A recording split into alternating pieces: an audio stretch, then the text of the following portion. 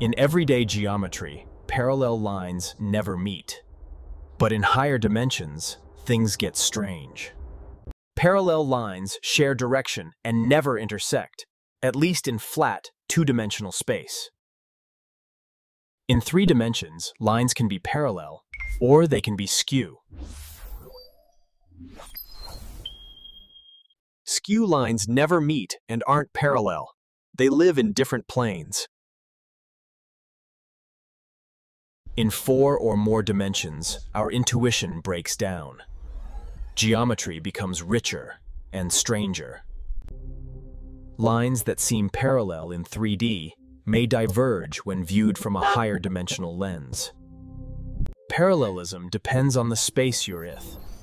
Change the space, and the relationship changes. Mathematically, parallel lines must share direction and lie in the same dimensional subspace. Projections can lie. Shadows may look parallel, but the truth lies in higher dimensions. Like two jets in the sky, they may seem aligned from the ground, but they are on different paths. In physics, understanding skew and parallel paths helps model particle behavior and space-time. Parallelism isn't absolute, it's a perspective. In higher dimensions, even certainty bends.